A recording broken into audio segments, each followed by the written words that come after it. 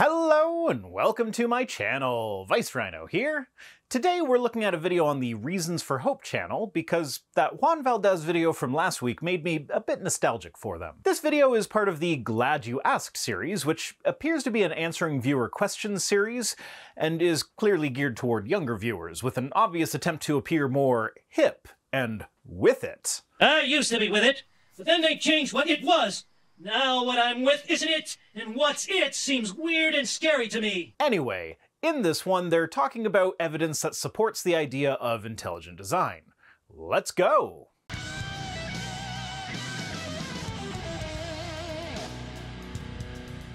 So Nick Smith asks, is there any evidence to support that life is complex enough to require a designer? That's not really a great question, because the thing is, complexity is not necessarily indicative of design. Good design will only be as complex as is necessary to get the job done. So, from the fact that there is a lot of needless complexity in biological organisms, we can infer that if they actually were designed, the designer is mm, suboptimal, to say the least. Now, this in and of itself is not evidence against intelligent design, but it is evidence against the idea that the designer was all powerful and all knowing, as such a being would have been able to implement a more efficient and effective design. And Nick, Glad you asked that question because it's one of my favorites. Because I grew up going to a public school where they taught me that there was no evidence for intelligent design, that Darwin had figured everything yeah. out, and that we were a product of a great cosmic accident. I just find it so deliciously ironic that he can say stuff like that while wearing a shirt that says, Because lies enslave, the truth sets you free. Because the thing is, well, it's not impossible that he somehow wound up in a public school that actually did present evolution in that way. It is way more likely that he was in a school where the teacher was forced to begrudgingly teach a bit about evolution in order to meet the requirements of the curriculum, but mostly just ignored it, or even presented arguments against it in class. Now, to make this absolutely clear, neither the scenario that I described nor the scenario that he described is an appropriate method of teaching evolution. The teacher should not ever mention intelligent design in either a positive or a negative light. Because while I do believe that the evidence is very much against us having been intelligently designed, such beliefs fall into the category of religion, and public school teachers should not be promoting or discouraging religious beliefs. That's what separation of church and state means. Now, if you happen to get a teacher that actually did teach in a way that doesn't touch on religion, either for or against, and you took the information from that class to be a refutation of intelligent design, well, then I guess intelligent design is refuted. Because evolution is a fact. The Big Bang is a fact. The fact that the universe is 13.7 billion years old is a fact. If you don't believe in these things, then your beliefs are factually wrong. And so my stick can I jump on a soapbox for a, a second? Bit, go ahead. All right, I'm going to jump on a soapbox. Teach evolution in schools if you want, but teach intelligent design alongside of it yeah. and let the students figure out what they think makes more sense. Yeah. No, absolutely not. Religion has no place in public schools. Intelligent design is based in religion and runs counter to the facts. Now, if you personally want to believe that God intelligently designed us through evolutionary processes, that's fine, I guess. Nobody's going to stop you. But there is no evidence for intelligent design, and especially not a version of it that doesn't include the theory of evolution. In fact, the vast majority of creationist arguments don't actually provide any evidence for creationism. They are just feeble attempts at poking holes in the theory of evolution, or the Big Bang, or geology, or whatever other science they're against at that moment. I'm going to make a prediction here. I haven't watched through the whole video yet, but I can pretty much guarantee that the main line of evidence for intelligent design, if you grant it, won't actually get you to the conclusion that life was intelligently designed. If I hypothetically take their entire argument at face value and accept it, you just get to a point where we know that whatever thing they are talking about did not come about through the process of evolution. They then wish to extrapolate from this the conclusion, therefore God. Unfortunately, that's not how it works.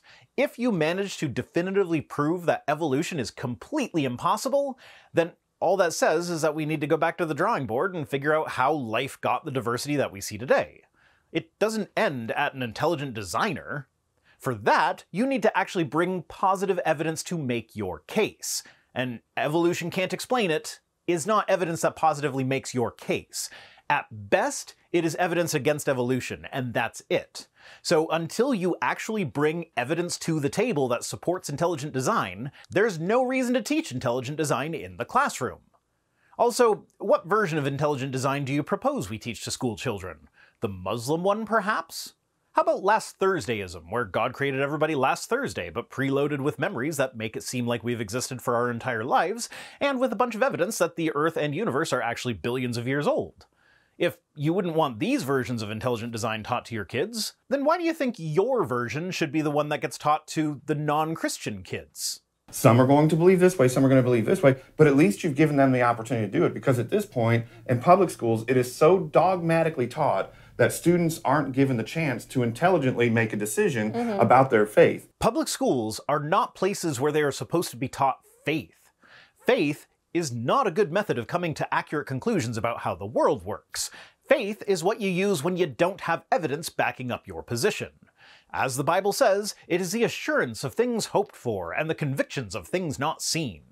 When you have evidence, you don't need faith. And conversely, if you need faith to believe something, well, then you probably don't have evidence for it. Otherwise, you'd believe based on the evidence, not on faith. And creationists know that faith is not a good epistemological foundation, because they will often accuse people who believe in evolution as having faith in a derogatory manner.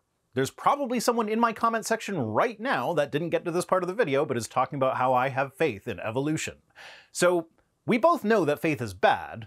Since we both agree that faith is bad, can we not also agree to keep it out of the publicly funded classrooms? And hell, even the private schools should be required to teach their students true things that are evidence based. Like, fine, I guess let them teach about religion in the private schools too, but they should still get a comprehensive and fact based education. Irreducible complexity. I know you think that's a big word, mm-hmm. but irreducible complexity. And- yep, irreducible complexity. At its core, an argument from ignorance.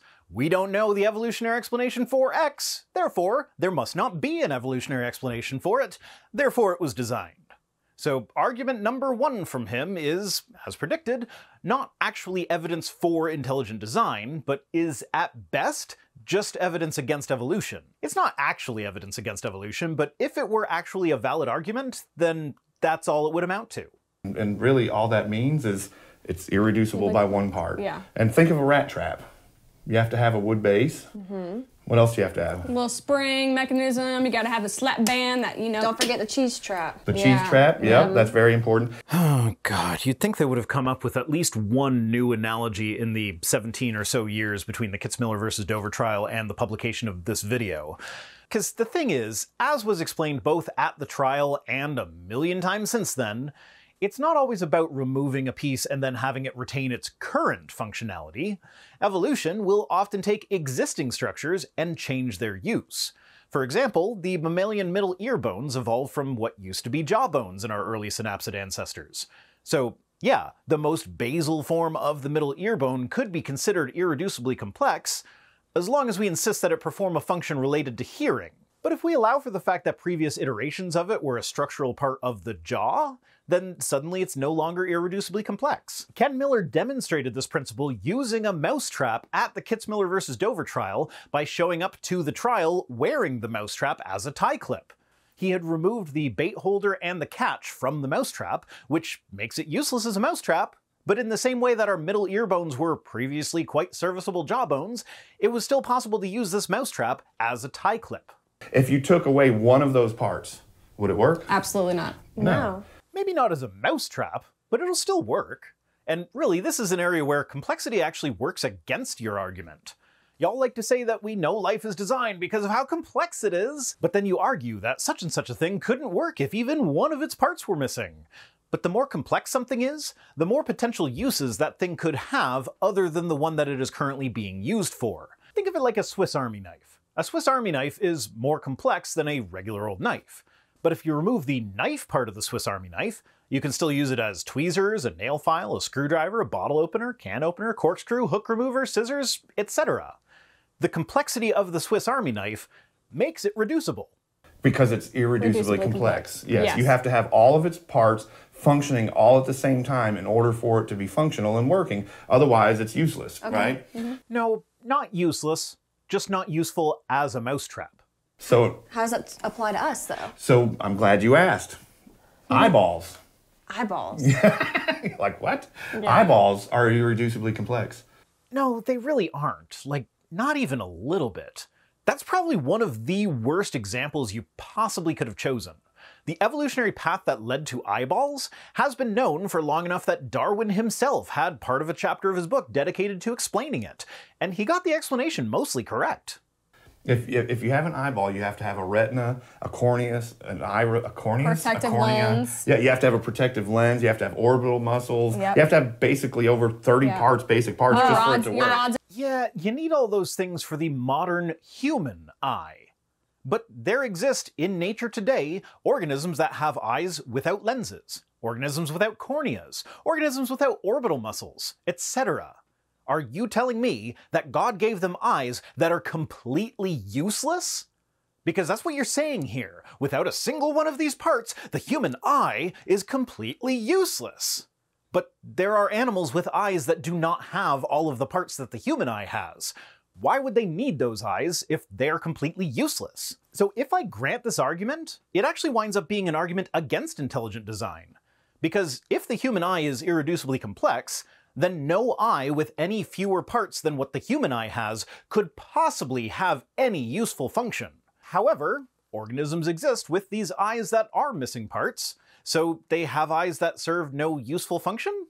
Since an intelligent designer wouldn't put body parts on an animal that serve no useful function, the existence of these animals with such body parts demonstrates a lack of intelligent design. But no, that's actually quite ridiculous, which is kind of the point. Clearly, these eyes serve a function for the organisms that have them.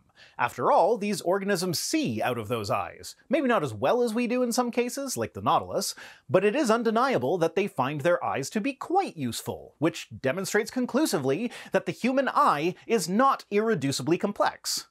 On top of that, Ours aren't even the best eyes in the animal kingdom. Eagles, for instance, have about four times the visual acuity of humans, have better color vision, and can see into the ultraviolet. Mantis shrimp have between 12 and 16 types of photoreceptors, giving them not only better color vision than us, but also allowing them to see into the ultraviolet and detect polarized light. They're actually the only known animal that can detect circularly polarized light. They can also adjust their sensitivity to different wavelengths depending on their environment. Like, imagine changing the picture profile of your TV, but in your eyeballs. That is how a mantis shrimp do. Now, admittedly, they don't see the colors that we see very well, but I think the other features of their vision more than make up for that. So, if we start with the mantis shrimp eyeball as our default irreducibly complex eye rather than the human one, you know, since it's more complex and just is generally better, then our human eyes must be completely functionless. Our eyes don't even have the mini brain structures that the mantis shrimp have. We need to process our visual inputs through our regular brain. What good is vision if we're forced to process the whole thing inefficiently through our main brain instead of directly in the eyes themselves? The answer, of course, is that it's still quite good, because the mantis shrimp eye is not irreducibly complex. Neither is ours. I want to show you something. Okay. Darwin made a statement. No, don't do it. Don't. Please. Please. Darwin made a statement that was a rhetorical device at the beginning of the bit where he explained how the eye evolved. That was meant to give the reader a sense of comfort, knowing that if they initially felt incredulous at the idea of an eye evolving, that they were not alone. Darwin felt that at first too. It's meant to vindicate the doubts of the reader while explaining why those doubts are unfounded. And as such, it is a terrible quote to use to argue against Darwin. Because this is why this matters. Because people are like, why are they talking about eyeballs? I want to show you why this matters. Here's what Darwin said. This comes from Origin of Species, the, basically the evolutionist Bible. Uh, the end all to be all to yeah. some people. Yeah. Nope. On the Origin of Species is not the evolutionist Bible. Well, unless by that you mean that most people that accept evolution haven't actually read it and only have a vague idea about what's in it. In which case, yeah, I guess you could say that. But no, nobody thinks that it's inerrant, nobody turns to it for life advice. Well, except maybe social Darwinists, but Darwin himself was rather against the position of social Darwinism, though creationists like to ignore that. They'll often quote from The Descent of Man, from right after how he describes various ways in which society cares for the weakest members, with medicine, vaccination, and asylums, which 19th century asylums wouldn't really count as care nowadays, but that's another issue. Anyway, he says, Thus, the weak members of civilized societies propagate their kind.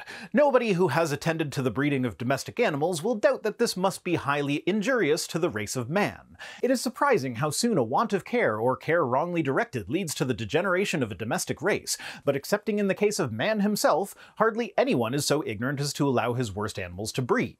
And yeah, that does seem quite damning. But keep in mind, Darwin was fond of using rhetorical devices where he would often state a position that he disagreed with as though it were quite a reasonable thing to think, immediately before explaining why he disagrees with it. So if we keep reading past that quote, we get to the part where he says, The aid which we feel impelled to give to the helpless is mainly an incidental result of the instinct of sympathy, which was originally acquired as part of the social instincts, but subsequently rendered, in the manner previously indicated, more tender and more widely diffused. Nor could we check our sympathy, even at the urging of hard reason, without deterioration in the noblest part of our nature. The surgeon may harden himself whilst performing an operation, for he knows that he is acting for the good of his patient. But if we were intentionally to neglect the weak and helpless, it could only be for contingent benefit with an overwhelming present evil. We must therefore bear the undoubtedly bad effects of the weak surviving and propagating their kind. He then continues on, explaining the various factors that could impact a weak person's ability to procreate, comparing it with a strong person in a similar situation, with several points that definitely cross a line into what we would consider racist and ableist today, but in the 19th century they were reasonably progressive. Anyway, that's kind of an unrelated tangent. Let's hear the quote. All right, so Darwin claimed that if it could be demonstrated that any complex organ existed which could not possibly have been formed by numerous, successive, slight modifications, my theory would absolutely break down. But I can find no such case. Okay, I was expecting the I quote, but that is another popular quote mine. Now, pro tip, you're supposed to stop before you get to the but I can find no such case part, because that gives the game away. He couldn't think of anything that could not be formed that way. Of course, that doesn't mean that such an organ doesn't exist, but over a century and a half later, we still haven't found any. Sure, there are some things in evolution that we haven't quite figured out yet, but none of them show any sign of being unfigureoutable. Which, according to my spell check, is actually a word. Though again, I would like to stress that even if something is entirely impossible to figure out, that doesn't mean that intelligent design is automatically the answer. This is not an argument for intelligent design, this is an argument against evolution it's not even an argument against evolution, but at its best, that's what it would be. Intelligent design is not the default alternative. You still need to provide evidence for it that doesn't just amount to, but evolution isn't real though. Now we gotta cut him some slack. Because back then, he didn't have all the resources and materials that we have Yeah. now. Modern So technology. Exactly. Do you think we wound up with less knowledge somehow after studying it for 150 years? Like, since then, we discovered DNA and genetics. Darwin had no idea what the mechanism was that determined which traits got passed on and which did not. Once we discovered the mechanism, it made explaining these gradual changes over time way easier, thus solidifying the case for evolution. It didn't have to. When we discovered the mechanism that passed traits on, it could have completely upended evolution and said, nope, this isn't how it works. But it did the opposite. So I'm sure he, he wasn't aware that the eyeball is irreducibly complex. Yeah. Our mm-hmm. respiratory system is irreducibly complex. Yeah. So a on and blood so forth. circulatory system Yeah. or, a Right. bird, or a bird wing. Okay, before criticizing Darwin for a lack of knowledge on these things, maybe try reading his book. He didn't go into a lot of detail for most of those, but he did suggest that the lung evolved from a swim bladder. And he was correct. He doesn't really say anything about the evolution of the circulatory system or the bird wing, at least not in Origin of Species, but the eye? He literally outlines exactly how he thinks the eye evolved by pointing to extant animals that he knew about that all contained eyes at varying levels of evolutionary development. On top of that, yeah, he didn't have the benefit of modern technology, but his ideas about the evolution of the respiratory system and the eye have been vindicated, and we have found evolutionary explanations for many other organisms that Darwin could only hope to speculate about. We have not, in fact, learned that any organs are actually irreducibly complex. Quite the contrary, we keep figuring out these explanations. I mean, Right. honestly, it feels like our whole body is that way. Exactly. Exactly. Well, when you speak about the body, did you know that there's a city inside of a cell? Really? That's a tiny Yeah. microscopic city. I mean, there's transport systems and energy factories and production facilities and waste stations and warehouses. No, there's chemical reactions. Now, in order to help students understand the various components of a cell, we do use these metaphors, but they are not literally cities. All of this has to function all at the same time inside of we're talking one microscopic little cell all of it has to be there working at the same time or else it doesn't And work and they think that happened by accident? Not by accident, no. Accident implies intentionality, and there was no intentionality. But yeah, cells developed through naturalistic processes, many of which we already have a pretty good understanding of. Like, Dr. Martin Hanczyc created simple protocells which exhibit remarkably lifelike behaviors in his lab using only five chemicals. In fact, he actually pointed out that this would have been way too simple to have happened naturally. In nature, you don't get a pool of exactly five chemicals. You get mixtures of complex organic tar. So he did it again, but with more impure tarry substances that would more closely resemble what might have actually happened in nature this time. And he got simple little protocells that have a lot of the qualities that define life. They move, they have metabolisms, they sense and respond to stimuli in their environment, they even reproduce on occasion. This serves to demonstrate the fact that the chemical beginnings of life could have been relatively common, contained in chemical reactions that were happening all over the place. Of course, it wouldn't really be called life until it had some sort of genetic molecule, allowing for the inheritance of characteristics to take place, and how that happened is one of the biggest unanswered questions in Origins research at the moment. But given how easy all the precursor steps to that genetic molecule are, it stands to reason that the early Earth had plenty of opportunity for such a molecule to develop in tandem with some form of protocell. And as soon as you have inheritance of characteristics, you have natural selection and evolution. The characteristics that help the proto-organism make more copies of itself will take over. This isn't an accident, and it isn't random. There is a degree of randomness involved in which characteristics develop, but the selection of the successful characteristics is most definitely not random. they think it happened over a period of time but what if you had what if you had a, a cell and you didn't have the the skin around it the, how just the cell apart, it just yeah. falls apart so i mean it's irreducibly complex The skin around it is literally the easiest part. If you've ever seen oil droplets mixed in water, you've seen the beginnings of a basic membrane. Oil spontaneously forms little circular bubbles when mixed with water. Sure, that's not the same as modern cell membranes, but we're not talking about modern cell membranes. We're looking to see if modern cells are actually irreducibly complex. And it turns out that when you don't start with the assumption that it is, it's possible to actually figure out how it could have evolved over time. You see, the whole city analogy that you made use of when describing how complicated cell operations are is kind of apt. But the transport and delivery systems that figure out which molecules to take to which parts of the cells all work based on the self organizing nature of lipids in aqueous solutions. Think back to the protocell experiments of Dr. Hanczyc. The protocells seek out what he calls their food. By using similar methods inside a cell, membrane vesicles can travel to specific destinations based on the makeup of their lipid bilayers, as well as the various proteins that they contain.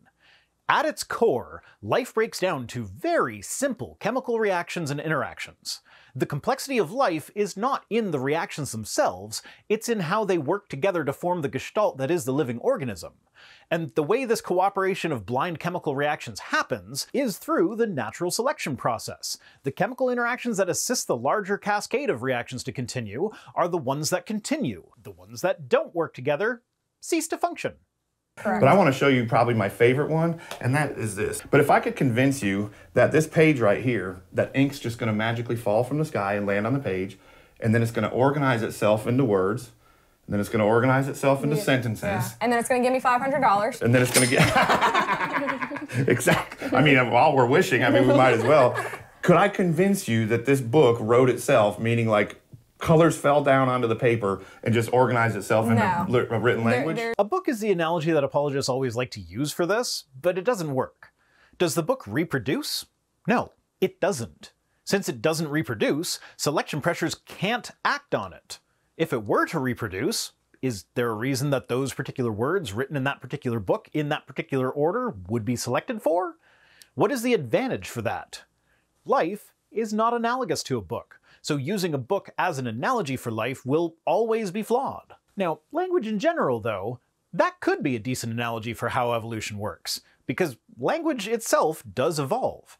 I speak the same language as my kids. I can understand them when they speak, and they can understand me.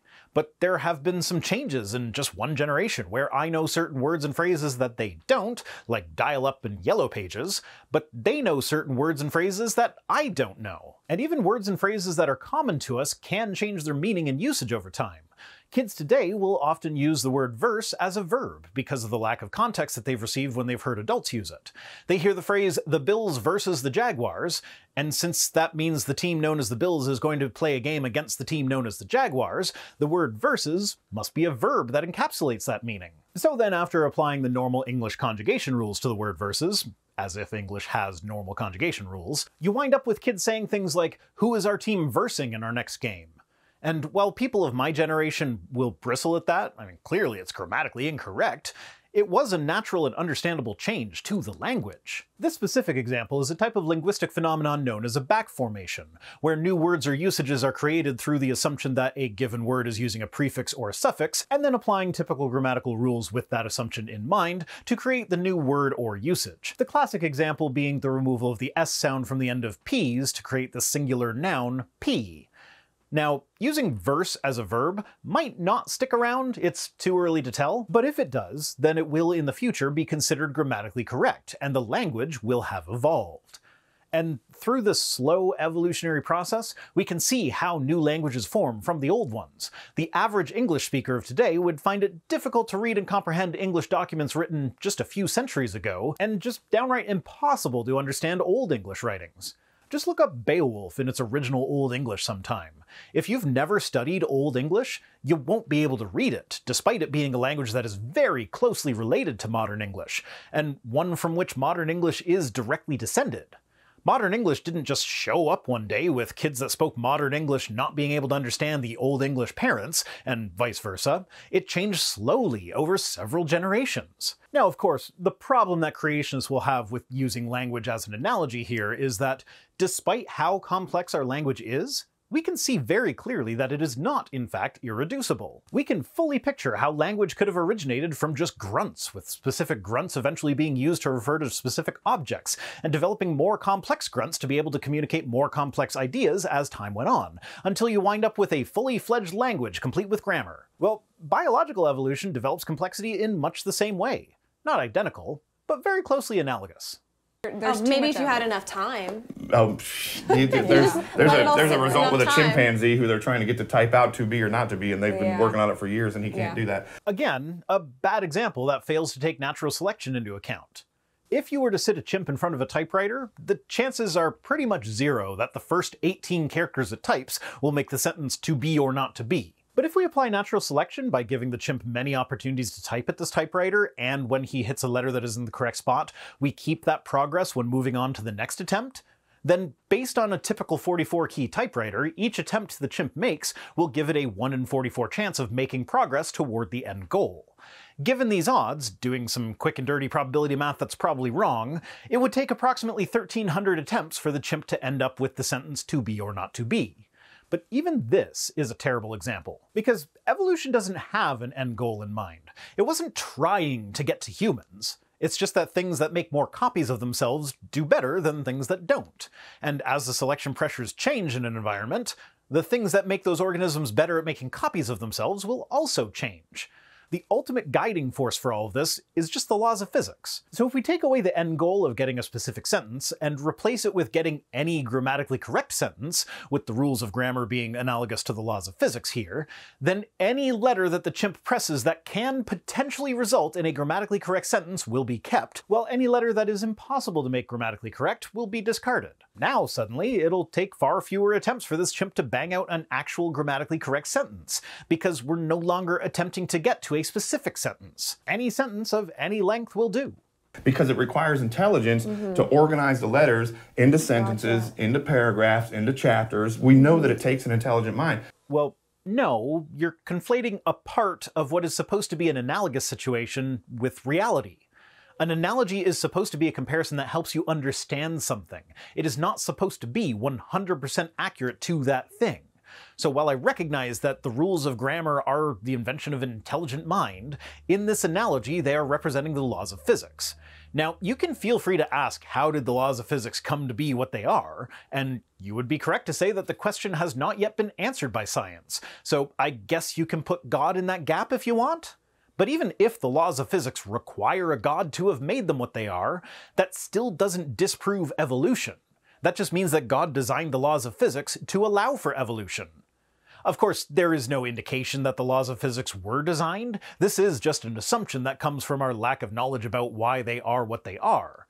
Also, it's helpful to keep in mind the difference between the laws of physics as humans understand them and the way the universe actually works. Because our laws of physics are descriptive. We create a mathematical equation that describes how the universe works in some specific way.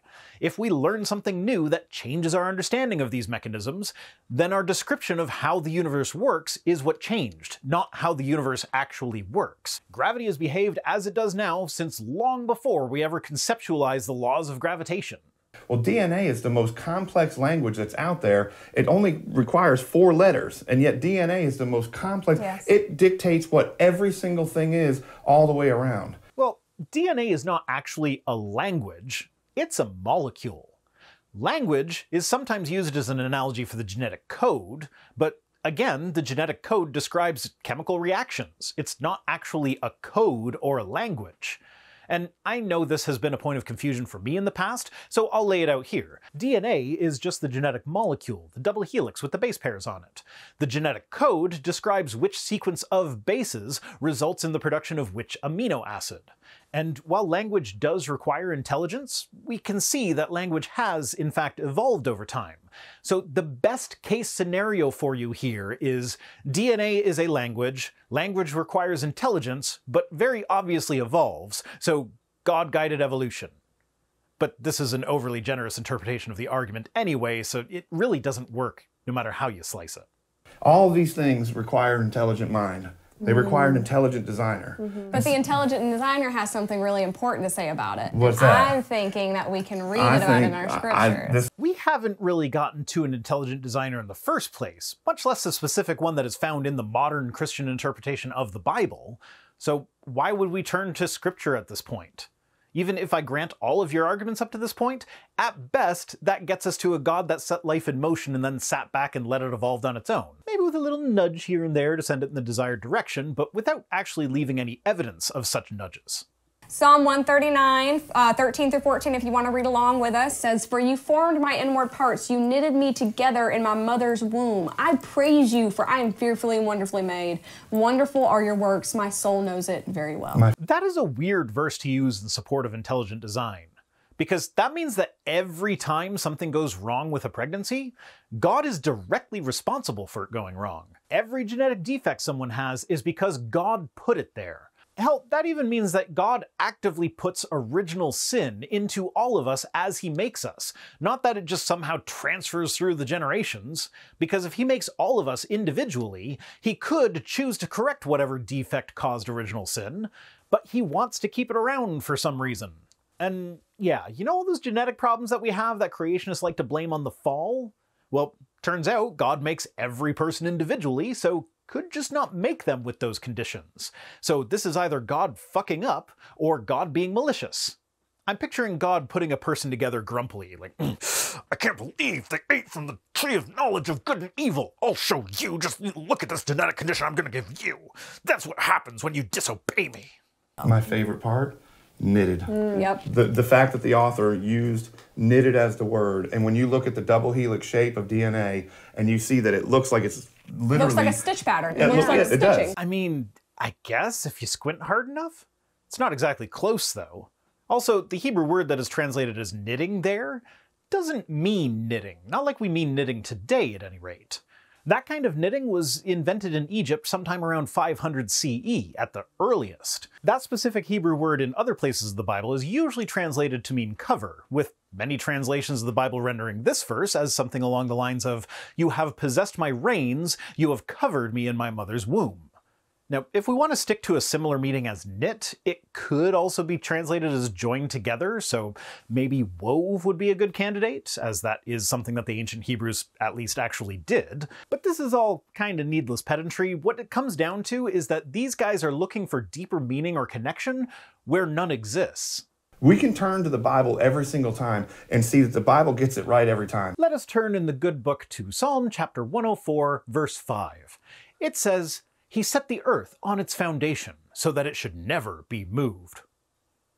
Whoops. Whoops. Whoopsie. Science is constantly changing. Yep. Evolution's constantly changing, but the Bible gets it right every single time. Yeah, you know what? Science is constantly changing as we learn more about how stuff works. Y'all are sitting there using modern technology that would not exist if science didn't change. Using green screen technology to put yourselves into a poorly built, claustrophobic looking set for some reason. Using digital camera technology, using electricity, hell, using chairs that were made with modern manufacturing technology. All of which would not exist if science remained constant and unchanging. The changing nature of science is literally the whole fucking point of science. If you don't like it, feel free to discard everything that scientific progress has brought you. Normally, I don't like to use the argument that, oh, you deny evolution, therefore you deny science, therefore you shouldn't use anything that science has produced, because you can use cognitive dissonance to deny parts of science while accepting that the same scientific method gave you all the technology that you use. But when you actively attack science for its changing nature, all while using a shit ton of stuff that exists precisely because of its changing nature, that's when I whip this one out. But Nick, we have barely cracked the surface on this answer. You haven't even cracked the surface. Hell, you didn't even get to the three points that you said you were going to get to. I counted two max irreducible complexity and DNA is like a book. As I predicted at the beginning, there wasn't any positive evidence in favor of intelligent design. The irreducible complexity argument is, at best, an argument from ignorance. If you can't figure this out in an evolutionary framework, then it must be God. The second is an argument from incredulity. I can't believe this amount of complexity could happen naturally, therefore God. Now, yeah, I wouldn't give them too much flack for forgetting that they were supposed to be making a list, though. I've done that myself a bunch of times. It's easy enough to do, though I don't have a whole production team behind me, so you'd think that someone would have caught that. Also, I could just blame my ADHD for that one. I get lost in the first point in the list and never quite make it back to redo the part where I said I was making a list. Now, seriously, go back and watch my older videos and count how many times I start a point with something along the lines of, a few things here. Firstly, blah, blah, blah, blah, blah. And then I never get around to secondly. And no, this is not a trick to get you to binge watch my whole catalog.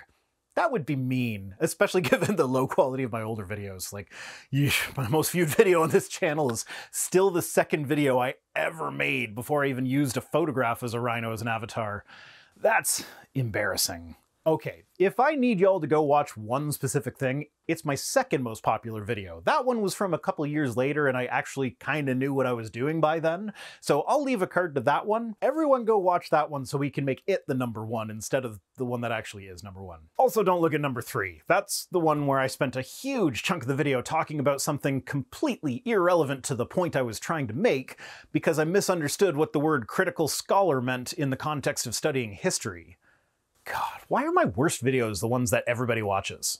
Anyway, that's it for this one. I'm still amused at the fact that this guy is wearing a shirt that says because lies enslave but the truth sets you free, given that they are promoting creationist lies, and that the organizations like Reasons for Hope rely entirely on people believing the lies and feeling obligated to send them money to be in alignment with biblical tithing principles.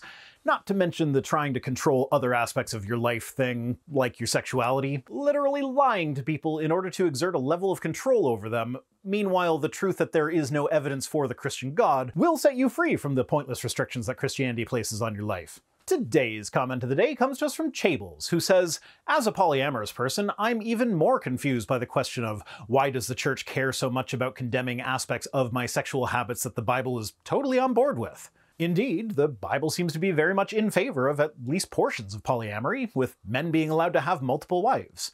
It's weird that people who want to argue that we should only allow traditional biblical marriages can never actually get a definition of marriage from the Bible.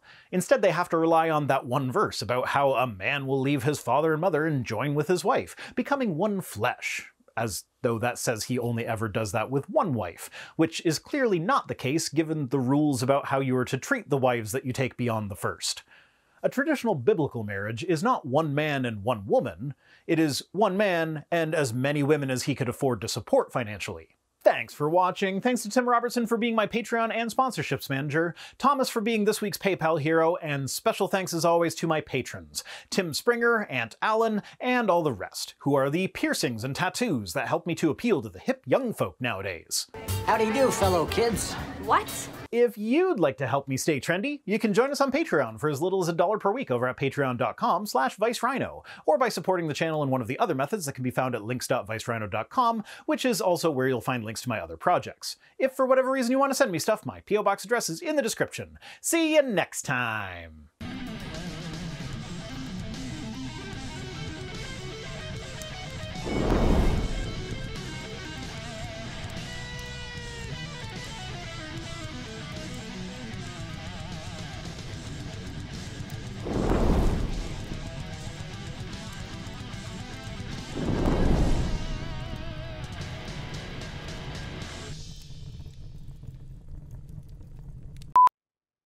Shower! Why? Because you smell bad! Is there a reason that those particular words written in that particular Burke. Burke? Read a Burke. Read a Burke, would you? But if we apply natural selection by giving the chimp many opportunities to type at this typewriter, and when he hits a letter that is in the correct spot, we keep it and keep that progress when. I can't blab such blibber blubber, my tongue isn't made of rubber.